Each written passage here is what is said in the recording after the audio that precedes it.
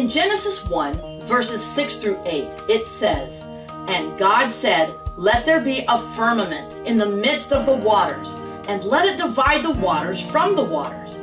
Thus God made the firmament, and divided the waters which were under the firmament from the waters which were above the firmament, and it was so. And God called the firmament heaven. So the evening and the morning were the second day. In our Bible Discovery Adventures 1 and 2, we discovered that God created the heavens.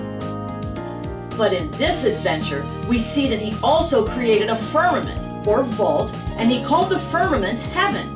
Do you find it interesting that God created the heavens, then He created a firmament and called it heaven? Let's dig a little deeper for a discovery. What do you say?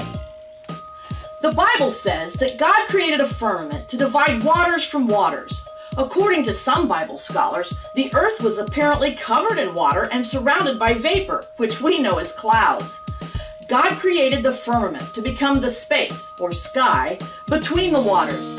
After the separation, the waters above the earth provided a protective greenhouse over the earth. The space between the water-covered earth and the clouds is the space, or firmament, God called heaven. Let me give you the exact definition of firmament. Are you ready? Firmament is heaven or sky, an expanse, the space between the stars and the planets. By using the definition of firmament, we can better understand the difference between the heavens and heaven. The heavens are the firmaments, the skies or expanses, between the stars and the planets all throughout the universe. Let's take a look at the definition of expanse. An uninterrupted space or area, a wide extent to anything, something that is spread out, especially over a relatively large area. Have you ever wondered what happens when someone passes away? I believe their body is buried, or cremated, and their spirit goes to the current heaven. The Bible tells us the spirits of the people who believe in Jesus depart when they pass from this earth. You'll find that in Psalm 146, verse 4. Did you know that God promised to create a new heaven? An awesome place where we can live with God for eternity if we've accepted Jesus as our Lord and Savior. How cool is that? The new heaven, for sure, is filled with God's glory. There will be no more crying, no more sorrow, no more death, and no more pain, because the former things will have all passed away. That you'll find in Revelation 21.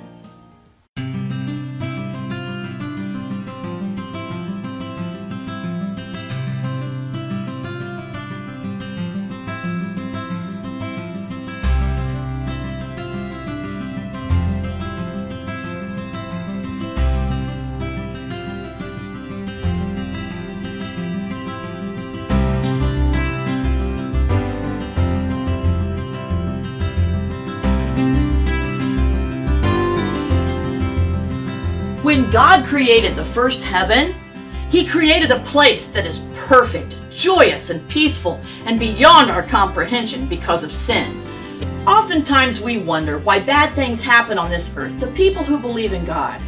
Earth, as we know it now, is full of sin, fear, death, disasters, and evil. But great news God is with us to help us through every situation every day. No matter how big or how small the problem may seem to us, God is right beside us to guide us through. God doesn't always just make the problem stop. More often than not, He leads us through the problems. And by going through them, we learn valuable lessons here on earth. These valuable lessons help us share God with others going through the same kinds of trials. Sometimes we tend to focus on just the bad things on this earth. Rest assured, God did not make these things happen. It's the sin of this world that has brought about the disasters and catastrophes. But did you know that God promised not only a new heaven, but also a new earth? Let that sink in. So yeah, there's really going to be not only a new heaven, but also a new earth. When I stop and think about it, I imagine being able to snowboard without falling or getting frostbite. I imagine being able to surf and not have to even think about sharks. I imagine camping out without mosquitoes. And then I imagine hiking mountains without the fear of falling over the edge. And whether those things are there or not, I'm sure whatever God has for us on the new earth, it will be amazing. And that wraps up our third Bible discovery adventure in our creation series. It's time to talk to God. So say the following prayer out loud to God. He will listen, I guarantee. Dear God, thank you for creating heaven. Living forever in heaven with you is what I want to do. I am willing to change my ways to your ways. I accept Jesus as my Lord and Savior. Please forgive me for my sins. Thank you for opening my heart to follow Jesus so that I may live forever with you in heaven. Amen.